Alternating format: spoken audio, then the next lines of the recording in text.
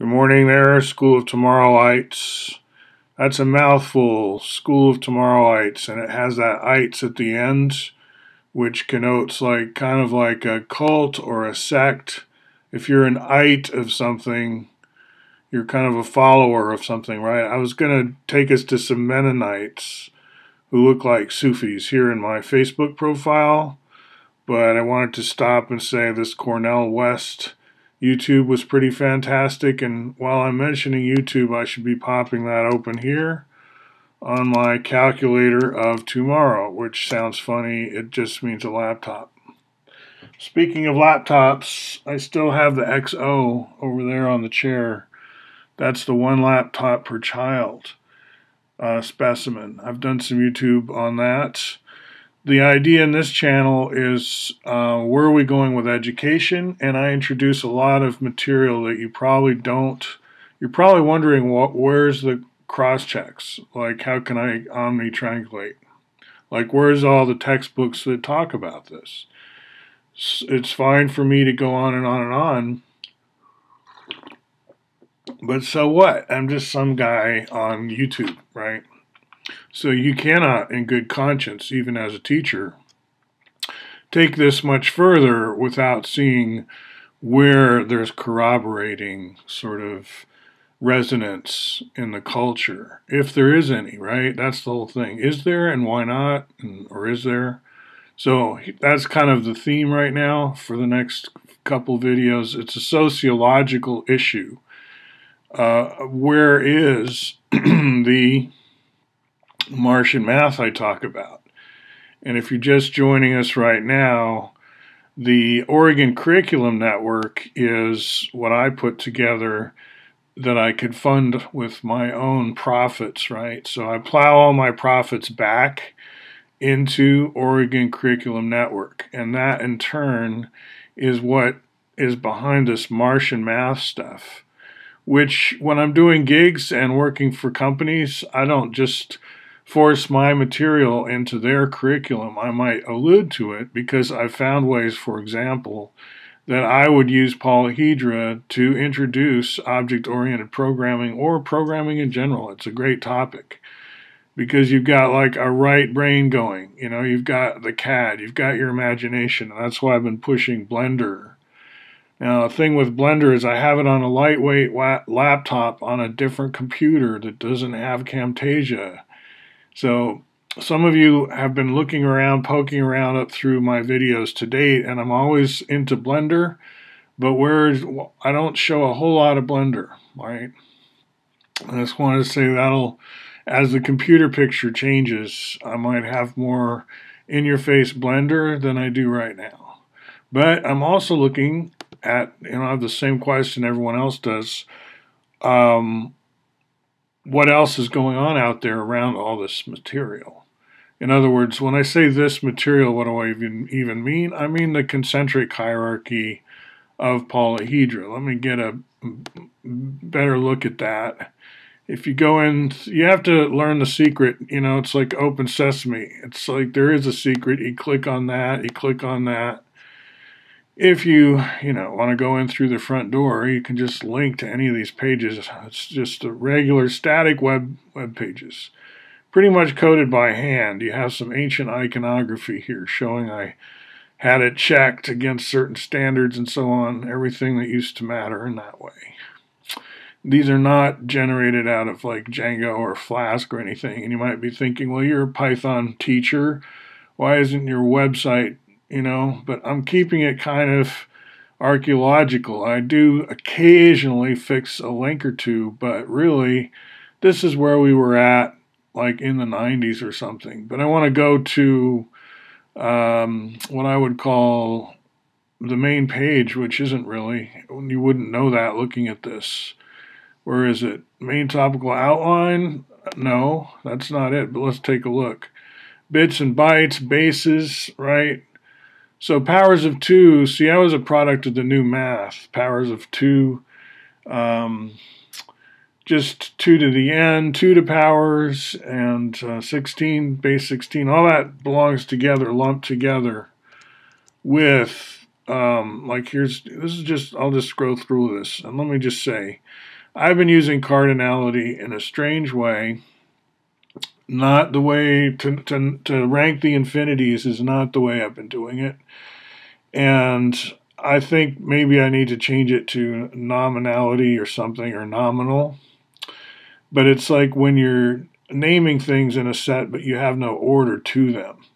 You know, you just have a bunch of cats in a cat uh, pen, and uh, they all have names, but there's not a greater than, less than sign. Maybe, you know, you can invent scenarios where they have ages and you can rank them. You can give them an attribute whereby you would rank them, but you admit to you know, and, and then it makes a difference. Like when the buses, buses are fascinating. I'm talking about city buses because they have numbers used to just designate the route, right? 14, 10, 12, 2, whatever, those are bus routes. And so it really doesn't make sense to say which is greater or whatever. They're kind of loops around a city that are enumerated. Kind of like we enumerate vertices and polyhedra and so forth. We're not saying which is the greater, greatest vertex. That would break the symmetry anyway. It's like an, it's an icosahedron. All the vertices are the same, that kind of thing all the same. We don't sort them, is what I'm saying. So there's lots of times when we're working with sets that we're not sorting them, is all I'm saying, nor do we in principle even have a way of sorting them. The complex numbers, we can, again, attribute how far from the origin, but that's hardly unique. How do you even just sort uh, two-dimensional squares, right? It's, it becomes very complicated to, to impose sorting sometimes. So that's a whole topic. And what I'm getting into, and of course it's much more developed than I say, you know, partial sorts. Sorting is just a phenomenally big topic. And I am not going to recreate the universe in my laptop here necessarily, but I am showing you that this whole website about math and stuff, it's pretty straightforward. You'll learn a lot from it, even if you're not interested at all, here we go, programming language resources in this more obscure part of it. And here's that concentric hierarchy I was taking us to. It's a little blurry because it's kind of small. Let me not overdo it here. Um, now, the whole thing about these is all the numbers, the, the volume numbers. And they're not all whole numbers, and there's no attempt to deny incommensurability and synergetics. That's core to it in some ways just like it is in reality. So, anyway, the green cube, for example, is valued at 3 and so on. And you're very familiar with all this, and you're wondering if you've been following my channel, for example, and you're wondering, uh, okay, well, that's pretty. I've really gotten that. It's like I've watched 10 of your videos, and it's totally clear to me. I can think the concentric hierarchy hierarchy inside and out. I know about A, B, T, E, S modules. What so okay, and it is part of American literature. It's embedded in history, and I've got the intellectual history stuff. But what of it? Where am I gonna? What am I gonna do with all this? You know, do I care? That I understand these concepts now. And others of you are saying, yeah, why should they care? And if they don't need to care, why do I even need to learn it? It's like you're looking at a lot of people who have gone through trying to learn something here. And then, so what? What did it do for them, right? Do they have any kind of edge? So you're looking for where's the pitch, right? And so on. So that's, let's see. I think a lot of the pitch is just the, the pitch we give for school in general. Speaking of that uh, Cornel West lecture again, um, education, what is the word he kept using for it? Oh, he had a like a Latin word that he repeated over and over again. Like any other human being, in this case, under Jim Crow apartheid situations. There they sat, nearly 30 of them on the rough benches, their faces shading from a pale cream to a deep brown, the little feet bare and swinging, the eyes full of expectation. Oh, that's, I love to be in classes like that. We had that today and this morning and last night. You, know, you walk in, eyes of expectation, anticipation. How am I going to learn how to die today? oh, Brother West, thank you for allowing me to learn how to die better, to scrutinize better, interrogate better, criticize better, so that I can live better more courageously, more critically, more visionary, more love, more courage, and so forth. See, that process of paideia that we talked about. You got to watch that again, I'm thinking. Okay, so there's the Mennonites I was talking about. Kind of Sufi like. And if you've tracked this channel, it's like I'm talking to other uh, private schools all the time.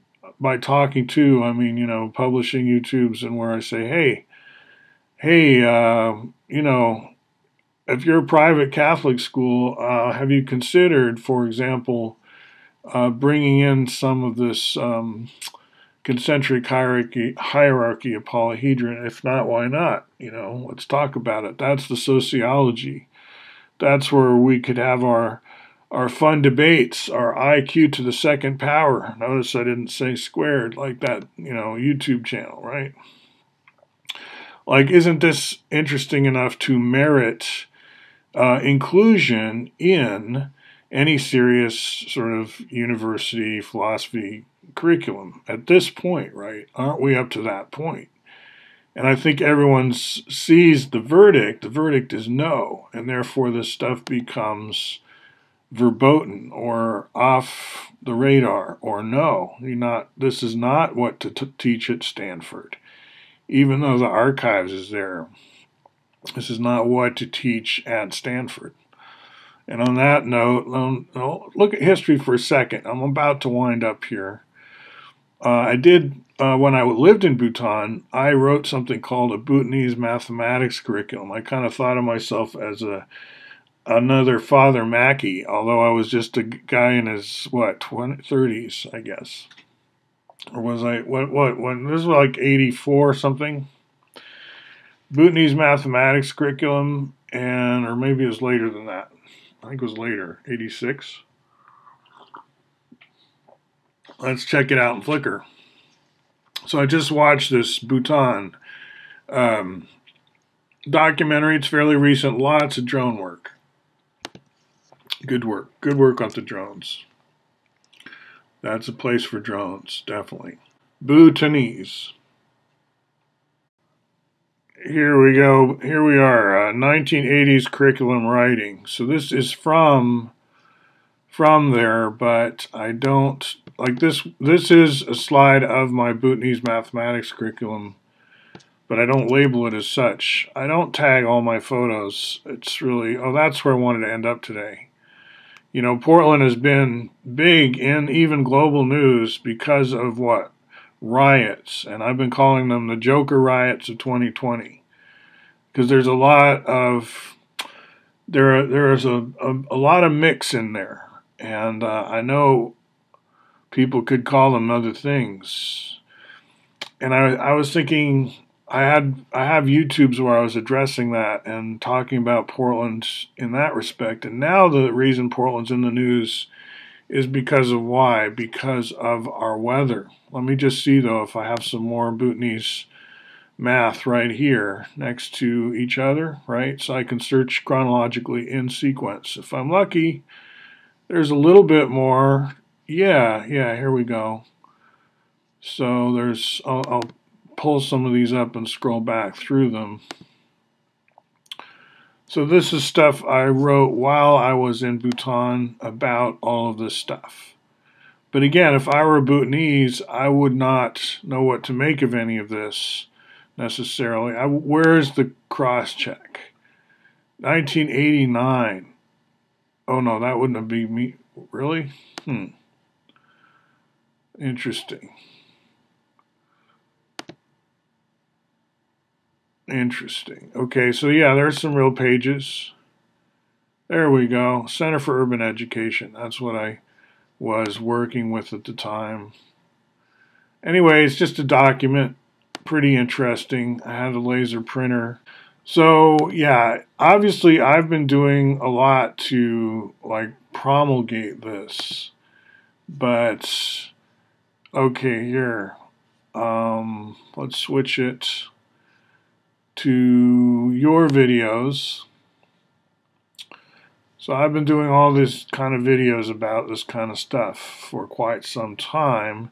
So many that if I want to get to the beginning, I have to sort with oldest first because I can't scroll through them all anymore. There's too many, it seems, to just scroll through them all.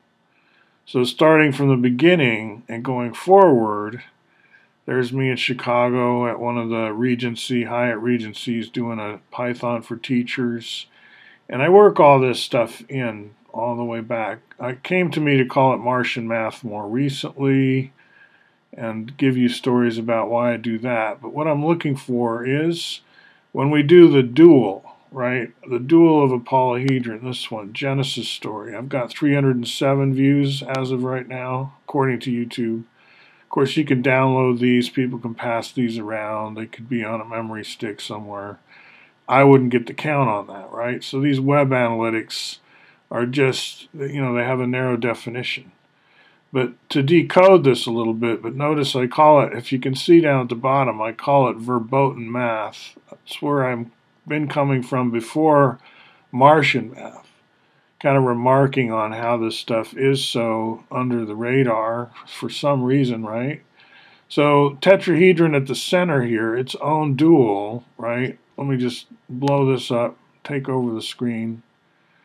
And then paired on either side of the tetrahedron, you can like even build the cube with the two tetrahedron, right? So duo-tet cube, C for cube, that's the volume three in uh, the concentric hierarchy. Its dual is octahedron four. And then you've got the icosahedron paired with the dual of that, the pentagonal dodecahedron. It's when these duals combine with each other.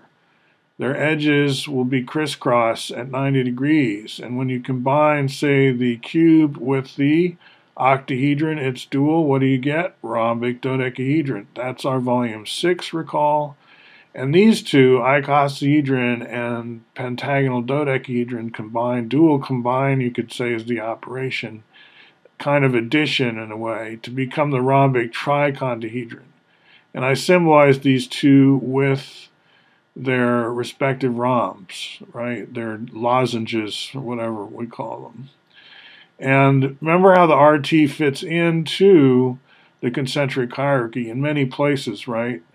Where it's just the additive sum of the jitterbug icosahedron. Now I'm losing a lot of you, but for those of you who've been hanging on, the 18.51 icosahedron combined with its uh, dual gives you what I'll call the super RT. It's the RT that's phi scaled up from the one that shrink wraps a CCP ball. So you take that that uh, 5 plus RT, little more than 5 volume, tetra volume, scale it up by 5, and it meets up with the vertices of the jitterbug icosa and its dual.